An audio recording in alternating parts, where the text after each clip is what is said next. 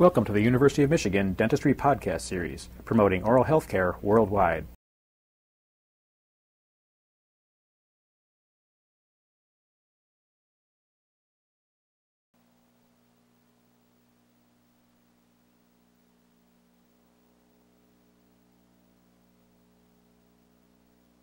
Hello, Roberta.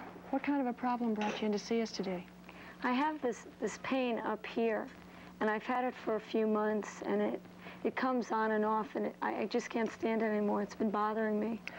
Does it seem to be more on than off, or how It's- often would you say you get it?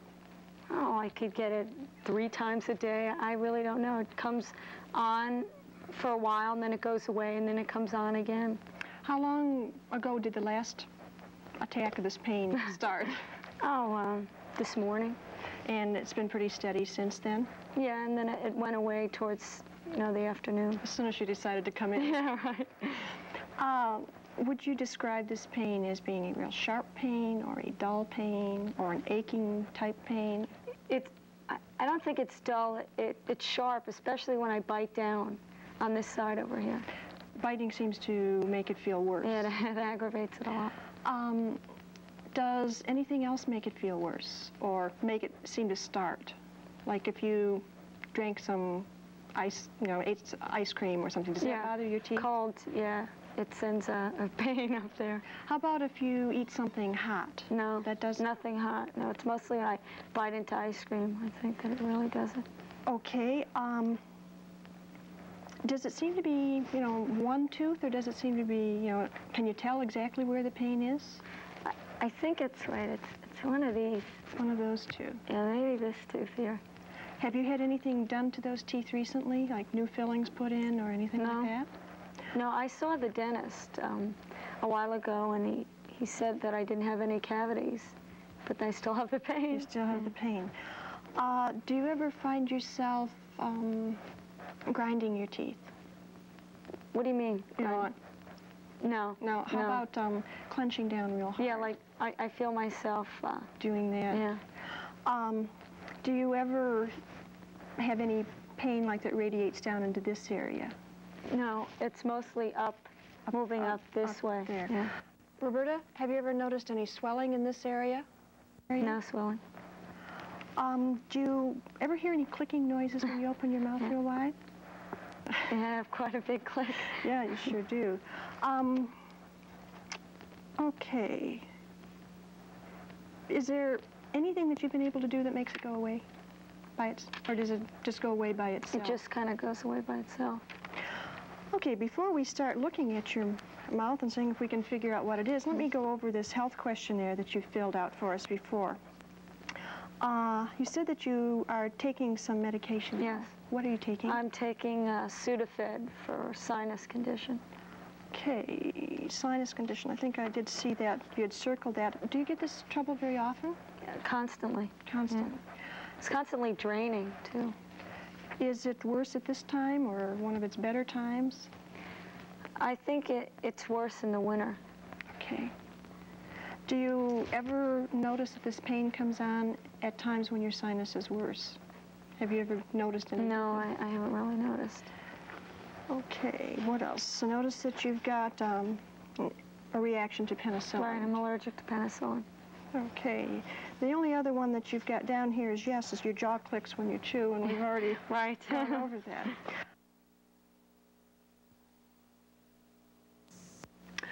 Okay, Roberta, before we start um, looking at your teeth, I'm going to go over just a couple of the of other areas of you just to make sure that they're okay, Okay. too. You look like you're in reasonable good health, not particularly in anguish right now.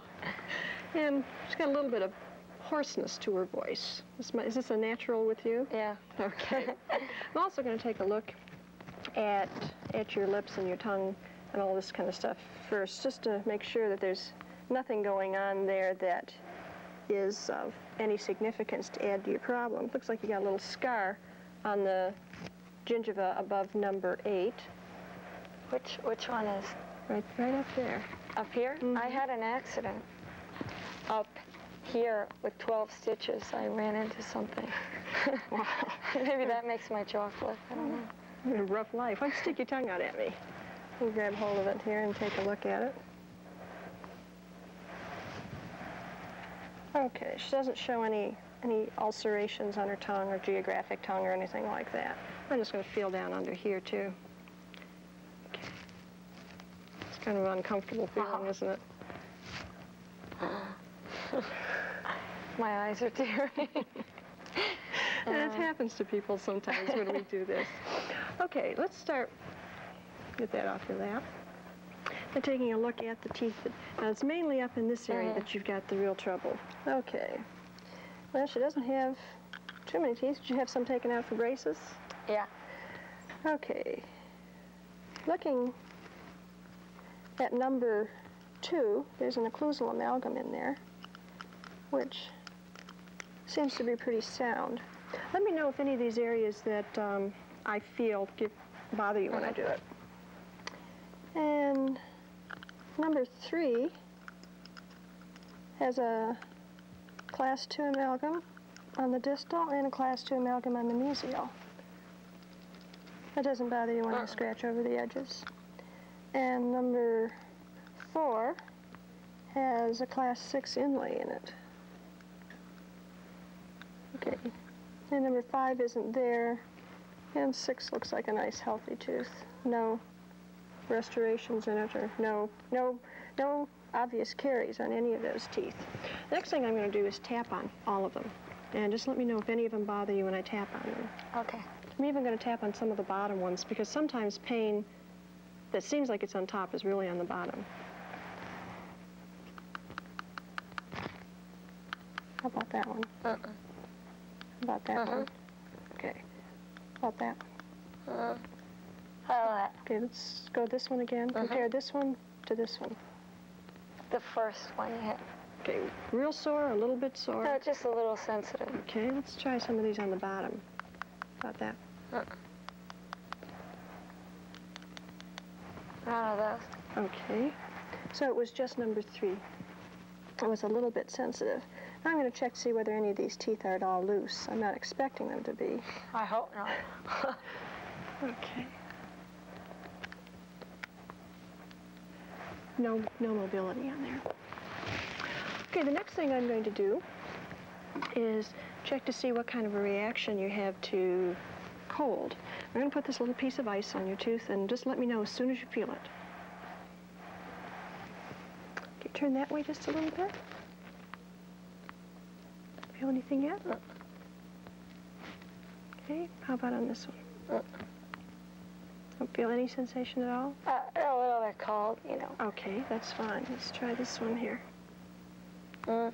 Got a little sting there. It kind of stings, you know. I, I Okay. feel like a sharp pain. Has, has it gone away now that I've taken the Yeah. ice off? Yeah. Okay, let's try this one back here. Mm-mm. It's, you know, cold. Feels a little cold. Okay, let's just check out these bottom ones too. I cold. Cold. We're going to get a bigger piece of ice next time, just about melted on us. Number three was a slight sharp pain there, but the others were just a normal response to cold. Okay, have you ever seen a gadget like that? No. This one? This is a vitalometer, and it's used to check to see whether teeth are still living, and we use a little dab of toothpaste with it. And what I'm going to do is just touch it to your tooth and turn it on, and you just let me know as soon as you feel anything from it. Mm-hmm. Okay, you might feel a tingle, you might feel a sensation of warmth. And that's, mm-hmm. as soon as you get that response, that's Do you fine. want me to raise my hand? You can raise your hand or say something or, you know, grunt or, or whatever. Okay, we're going to start on, I'm doing a different order here. I'm going to dry your tooth off. Okay. Okay. Okay. Reading on number two was 1.5. Okay, now let's move to another tooth. Okay. Okay, the reading on number three was one.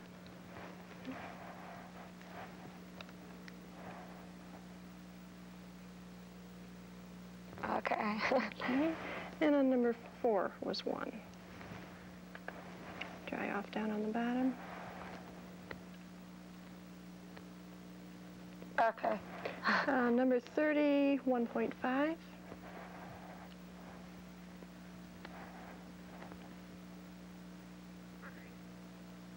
Okay. Number 31, 1.5. One more. Get a toothpaste out of your mouth.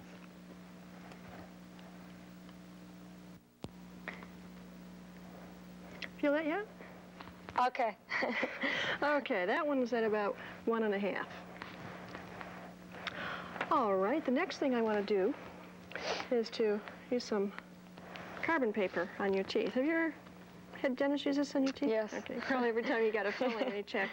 Well, these will, this paper will show us where your teeth are hitting together. First thing, before I put that in, I'm going to hold with this hand down on this, on your lower jaw, and I'm going to put my other hand here on your upper jaw. Now, this is going to feel kind of strange. Try to let me guide your jaw for you. Mm-hmm. Okay. Now bite real tight. Good. Open real wide. That's good. Hear that jaw click again. Okay, just relax your jaw. Okay. Bite tight. Okay, now we're going to do the same thing, but this time I'm going to put the paper in. We'll see what kind of marks we get. The blue paper will wash off eventually. You brush your teeth a few times and it will all come off. Okay, same. Just relax your jaw. So that's okay. Just let me guide it now. Close down a little bit, just a little bit more. I'll bite real tight. Good. Open up just a little bit, a little bit more. Okay, just relax it now. Okay, bite real tight now. Now with that paper in there, just make. Okay, let me move the paper a little bit. Okay, now bite together again and grind your teeth to each side with your teeth together. That's far as, as far out to each side as you can go. And way out to this side. And now as far forward as you can go. And as far back as you can go. Okay, forward again. Then once more to each side. Okay, real good. that tastes terrible. I know, we should, you know, what flavor would you like it to be? Not that one. Okay. Oh, she's got balancing contacts on numbers two and three. Is that good? Well, it's, it may be an indication of what part of the problem is. We have to check a few more things too. And see on the other side, she doesn't have any balancing contacts on the other side. And I don't see any evidence of um, CR contacts. And I wasn't able to pick up a slide. Okay, next step is to get some radiographs of those teeth, and then we'll be able to tell you, hopefully, what your problem is. Ah, terrific. Okay, when we look at the radiographs, Roberta, these are your teeth. That's pretty obvious there. The white things you see here are the fillings that you already have. I have plenty of those. Yeah, we've got plenty of those. Uh, on the bite wing, Shelley, she's got an open margin on number four, both the mesial and the distal. What, what does that mean? It means there's a slight, a slight opening between the filling and the tooth. Sometimes it's not very serious, and other times it can lead to the problem that you have. Uh, don't see any interproximal caries, though. Terrific. That's- Yeah, that's good news. Okay, on the others, um,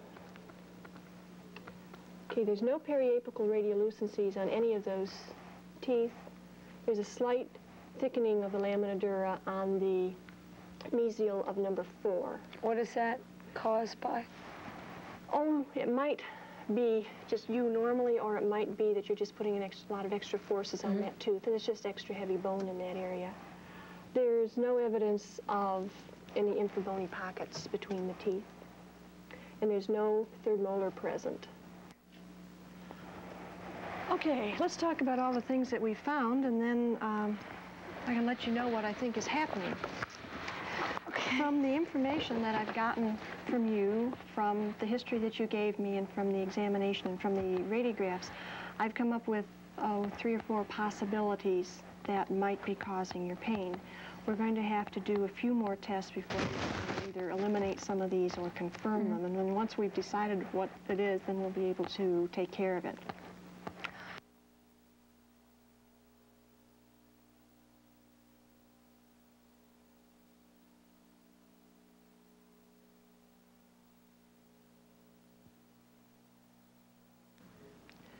From the information we have given you, you should have come up with one or more of the following differential diagnoses.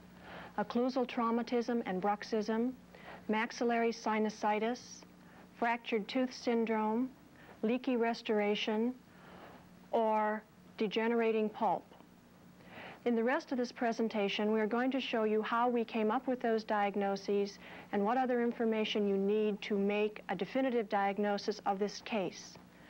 When you have a patient present to your office with a dental emergency, in order for you to determine what the problem is, you should use a rational, logical system of examining your patient. This is going to include several facets, including the patient history, the clinical examination, the radiographic examination, combining all of this into a diagnosis and then making a treatment plan from this diagnosis.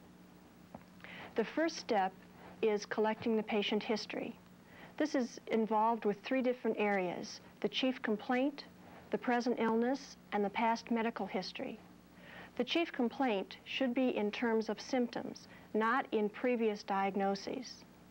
The present illness should allow you to collect all the information that is available about the chief complaint, including location of pain or discomfort, duration, intensity, character, relieving factors, intensifying factors, everything that is going to give you any clue as to what is happening.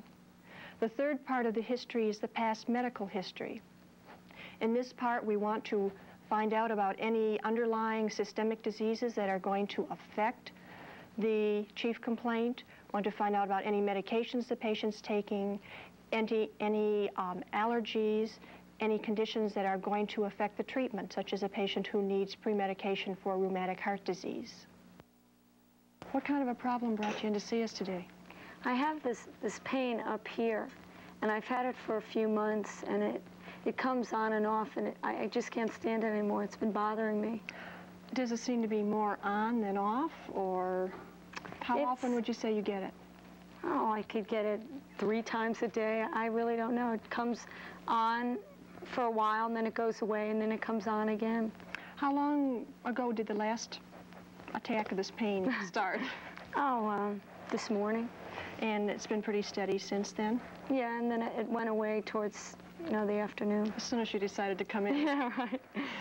Uh, would you describe this pain as being a real sharp pain or a dull pain or an aching type pain? It, I, I don't think it's dull. It, it's sharp, especially when I bite down on this side over here. Biting seems to make it feel worse. Yeah, it, it aggravates it a lot.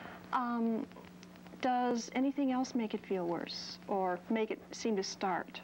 Like if you drank some ice, you know, ate ice cream or something, does yeah, that bother your teeth? Cold, yeah. It sends a, a pain up there. How about if you eat something hot? No, That does nothing hot. No, it's mostly when I bite into ice cream. I think that it really does it. Okay. Um, does it seem to be, you know, one tooth, or does it seem to be, you know, can you tell exactly where the pain is? I, I think it's right. It's, it's one of these. It's one of those two. Yeah, maybe this tooth here. Have you had anything done to those teeth recently, like new fillings put in or anything No. like that? No, I saw the dentist um, a while ago, and he, he said that I didn't have any cavities, but I still have the pain. You still have the pain. Uh, do you ever find yourself um, grinding your teeth? What do you mean? Know, no. now, how no. about um, clenching down real hard? Yeah, like I, I feel myself. Uh, doing that. yeah. Um, do you ever have any pain like that radiates down into this area? No, it's mostly up, moving up, this up way. Yeah. Roberta, have you ever noticed any swelling in this area? No swelling. Um, do you ever hear any clicking noises when you open your mouth real wide? Yeah, I have quite a big click. Yeah, you sure do. Um, okay. Is there anything that you've been able to do that makes it go away by its, or does it just go away by itself? It just kind of goes away by itself. Okay, before we start looking at your mouth and seeing if we can figure out what it is, let me go over this health questionnaire that you filled out for us before. Uh, you said that you are taking some medication. Yes. What are you taking? I'm taking uh, Sudafed for sinus condition. okay, sinus condition. I think I did see that. You had circled that. Do you get this trouble very often? Yeah, constantly. To summarize the important information we gained from Roberta, she has pain in the maxillary right quadrant of moderate intensity. It comes and goes. Her, some teeth are sensitive to cold but not to heat. She has a click in her jaw that she's aware of. Uh, she is not able to precisely localize her pain. And she has a history of sinus problems. The next part of the dental emergency examination is the clinical examination. Most of the time we are going to pay attention to the area of the chief complaint, but to make sure that we do not overlook anything of significance in her general health or in other areas of her mouth, we're going to do a brief examination of her general overall appearance, of the lips and oral mucosa, and of the teeth and gingiva in general, being very brief, noting any obvious pathologies if this is not precisely what the chief complaint is. When we get to the area of the chief complaint, if the complaint is about a tooth or teeth, there are going to be routine tests that you will want to carry on for every patient. This will include a clinical examination with Mirror and Explorer, will include percussion tests, vitality tests with both the EPT and ICE, and an occlusal examination. There are going to be other times when other information is indicated, such as periodontal examination, probing for pockets or bifurcation areas, blood tests, cultures, exfoliative cytology. All of these will present themselves at some time. In the general oral exam, we're looking for anything that might contribute to findings of the chief complaint also to any other problem that might be going on concurrently. We want to explore the teeth, checking for obvious caries, open margins on restorations, wear facets, anything that might show up with a mirror and explorer examination.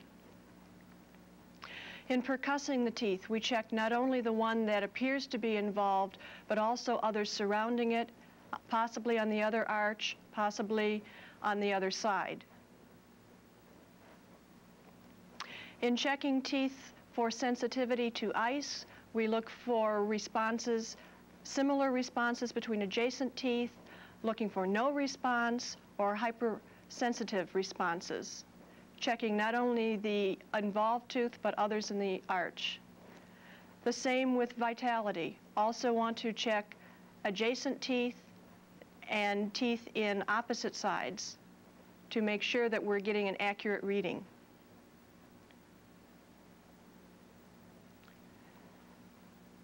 During the occlusal examination, we're looking for centric slides, balancing interferences, working interferences, areas of traumatic occlusion. And we will also probably palpate the TM joint and the muscles of mastication. In the radiographic examination, we look for areas of caries, open margins on restorations, lamina dura around the teeth, areas of bone recession, uh, supernumerary teeth, periapical areas, third molars, whether they're present or not. Summarize the important information that we have found in Roberta's clinical examination we notice that she has some sensitivity to percussion in the bicuspid and molar region on the right side. She has no obvious caries. She does have uh, sensitivity to ice on number three. And she does have the click in her jaw, which we noted also from the history. The radiographic examination, we noted no caries on there, no periapical pathology. We did notice a defective restoration on tooth number four. But all of these together have not given us a diagnosis. We only have a list of possibilities. So in order to narrow down our field to confirm the diagnosis or to reject others, we must do additional tests. And it's at this point we'll bring Roberta back in and show you some of the other tests that can be run to differentiate the five conditions, five differential diagnoses we listed. When you suspect that the problem is due to occlusal traumatism, there are other tests that you can do to help you confirm this. One of it, one test is to look for wear facets on the teeth. Another is to palpate the muscles of mastication and the TM joint. Open up, please. Palpating the masseter muscle, the internal pterygoid, the lateral pterygoid, the temporal muscles, and the, the joint itself. Open real wide. Okay. Going through several different excursions.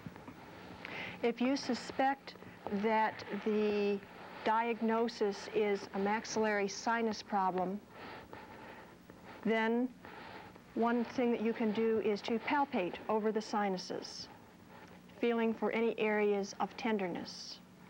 You can also have your patient sit up, sit up please, and turn her head towards the area that's affected and shake and see if you can shake some of the sinus fluid into the area which may intensify the pain. Another thing that you can do if you suspect a sinus problem is to take a Waters view radiograph of the maxillary sinuses. Roberta does show fluid in the maxillary sinuses as pointed out by the arrow. For another situation, a possibility of a hairline fracture in the tooth, which is, by the way, one of the more difficult situations to diagnose. There are a couple other tests that you can run on the suspected tooth. One of them is a percussion test, but instead of percussing the tooth directly apically, percuss each cusp in turn away from the central fossa. In this way, you might separate the tooth a little bit, which should cause pain.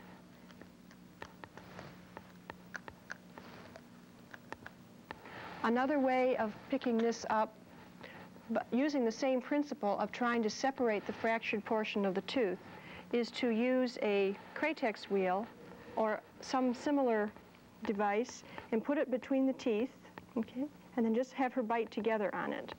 This should, might cause intense pain if you have a fractured tooth syndrome because it separates the tooth a little bit. Another possibility for her situation is a leaky restoration. We did point out on the bite wing radiograph that there was an open margin on one of her restorations. The only definitive test for this is to replace the suspect restoration and see if the pain goes away. The last possibility that we mentioned was a degenerating pulp. And again, this is a very difficult one to diagnose until it becomes very definite. In an early stage, there might be increased sensitivity to EPT and cold, a pain that is hard to localize, no changes on the radiographs. In a situation like this, you may have to adopt a wait and see attitude, trying to relieve the symptoms as best you can, either with conservative occlusal adjustment or replacing the filling with a temporary filling, or even prescribing an analgesic and having her come back when the pain is more localized. In conclusion, when you are faced with a dental emergency situation, in order to give your patient the best service, you must conduct your examination in a thorough, logical manner so that you do not miss any of the pertinent information. Your examination should include a patient history, a clinical examination, a radiographic examination, and then a synthesis of all the information you've gathered into a definitive diagnosis if possible, or if not a definitive diagnosis, at least into a list of possible diagnoses, and then a rational treatment plan based on your diagnosis. You've been listening to a presentation from the University of Michigan School of Dentistry, which is dedicated to supporting open learning and open educational resources.